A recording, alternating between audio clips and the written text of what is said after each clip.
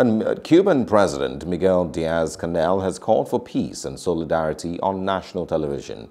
Diaz-Canel also added that his government will have to learn from the protests that started on Sunday.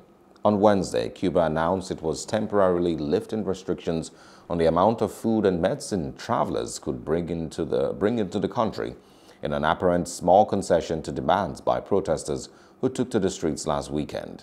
Thousands joined a wave of nationwide protests over shortages of uh, basic goods, curbs on civil liberties, and the government's handling of a surge in COVID-19 infections on Sunday in the most significant unrest in decades in the communist-run country.